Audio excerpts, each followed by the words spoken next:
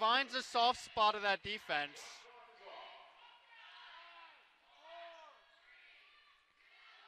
Crowd is counting down. Chloe pulls one from deep, and she sinks it. Chloe Milanese from downtown. We have ourselves a two-point game heading into the second quarter. Spartans lead 14 to 12.